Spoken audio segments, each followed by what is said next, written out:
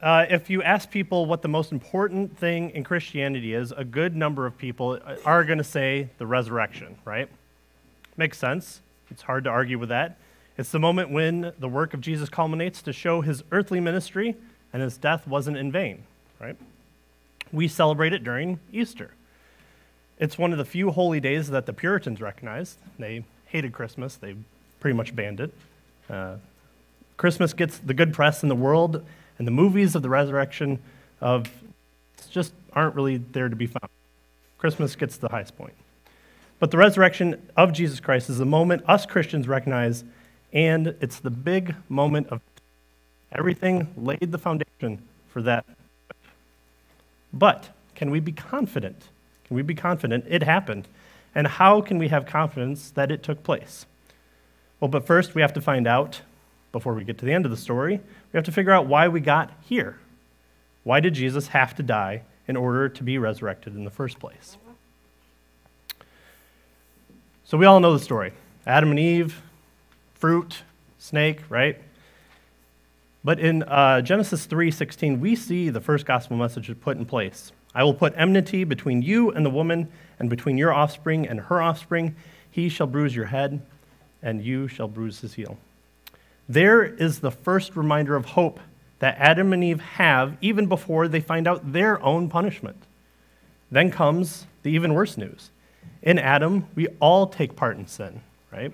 Romans 5 12 and 14. Therefore, just as sin came into the world through one man, and death through sin, and so death spread to all men because all have sinned. Right? If you're going through the Romans road, this sounds familiar. Yet death reigned from Adam to Moses, even over those whose sinning was not like the transgression of Adam, who was a type of the one who was to come. So Adam was the first man, and there is going to be a second man who fulfills the roles that he failed at. So what are the consequences of sin? We all know this one too. Romans 6:23, the wages, the things, the payments that we get for doing the things that we want to do that are according to our nature is death. And it not only affects us but the entire creation. So the simple sin of disobedience affects our relationship with God, where he is forced to expel us from his presence and his blessing and his promises. But the repercussions reach to our animal friends, to the trees, even to the stars in the Orion star nebula. But the story doesn't end in chapter 3 of Genesis.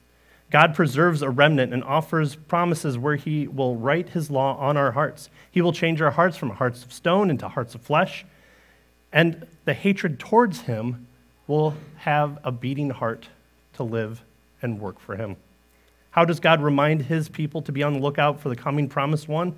And also to remind them of the direct impact sin requires. Well, there you have the uh, sacrificial uh, uh, system uh, codified. And we have to think about here when it's established. It's rooted in the uh, Passover sacrifice. We talked about that if you were here for my talk uh, a couple weeks ago. God uses the blood and death of the spotless lamb to not visit death upon the Hebrews. And then Jesus ties that in with the Last Supper. But from there, the temple sacrifices are codified, they're established.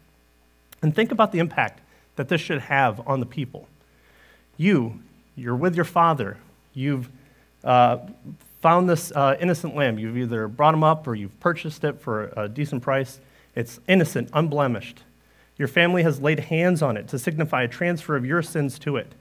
You stand in line as the priest slit the throat of the lamb and sprinkled the blood on the altar. You look up and down the line, right? And you see thousands of people with their own lamb waiting in line, each one with their perfect, spotless lamb. There has to be a better way, right?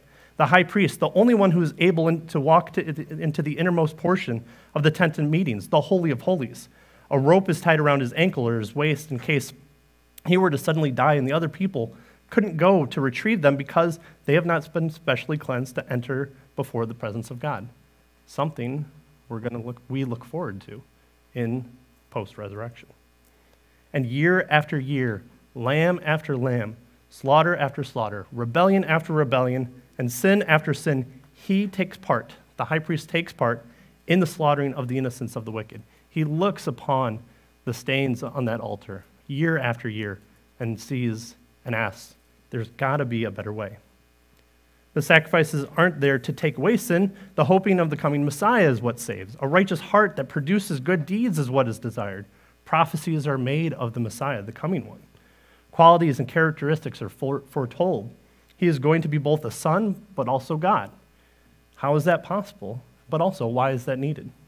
Just as the sacrificial system was established, the blood of bulls and goats didn't take away sin.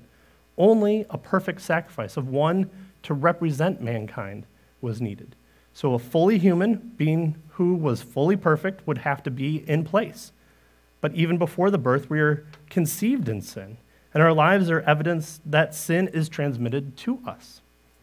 And on top of that, he's going to have to be so powerful that he withstands the full wrath of God while taking upon all the sins of his people they committed, are committing, and will ever commit until the new heavens and new earth come. He needs to be fully God. So, yes, the resurrection is important. It is the proof that God the Father finds the sacrifice of the fully man and fully God perfect, and his sacrifice is also perfect. But we are unable to piecemeal things away from the Christian religion and boil it down only to the resurrection. But it is important. So let's go into the purpose of this talk. And I'm skipping a lot, right? Like how the proof of the resurrection is not where I'd start with people who I'm talking to about the reliability of Christianity. Again, it is important, and I'm sure it's going to come up in the conversation, but I'm going to figure out how we both can claim something as proof. And to do so, we'd both have to present our worldviews in which we look at life and all objects for evidence and see if we have explanatory power in that worldview.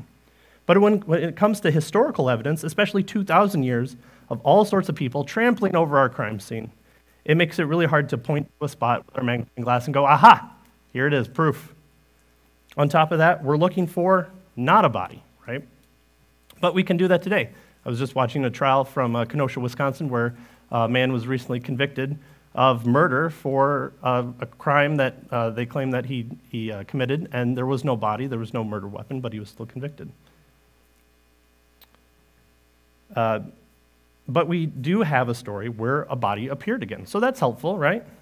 And so uh, we move on to uh, looking at the uh, evidences for the, the uh, resurrection. And if you want to know more about this, I'm going to plug my channel a couple times because everyone needs a podcast these days. But uh, uh Tony and I, Tony Gavan, uh, if you remember him, uh, he and I interviewed J. Warner Wallace for our podcast, and you can go and find those interviews for the resurrection of Jesus at cavetocross.com slash dragnet. Dragnet's an old TV show that was really popular back in the day, so that's why we chose it for him. All right, so because the resurrection is a historical event and not one where we can do scientific testing on, we have to resort to the same pro- process we establish proof of other events of history. And that's taking eyewitnesses and their testimony of the event and looking for the internal consistent explanation that fits the facts. But one thing also doesn't, uh, we don't want to pass over, is that we're not sitting here as only naturalists, right? We don't just throw up our hands to the sky and says, this is all there is. This is all I'm able to do uh, and see available to us. We aren't casting the dice down and saying nothing can be known about the outcome of these dice until they come to rest. We do have the internal conviction of the Holy Spirit. We are living in a post resurrection, post Pentecost uh, world. And so God saves us through his calling to us at the time of place he chose before the foundation of the world and has placed his spirit in our hearts so that we are able to follow him. And that spirit testifies to us of the truth of the resurrection. But it's also not to say we are to close our eyes to the world around us. After all, whose creation is it? It's God's creation, right? And so all truth is God's truth. All things are the Lord's. And so we can look to the whole world and see. You can't use, uh, the, the claim is you can't use the Bible because it has supernatural elements. Well, you mean like the resurrection of a guy who claims to be fully God and fully man? That's, that's the whole argument. The whole argument is supernatural. That's, that's the point.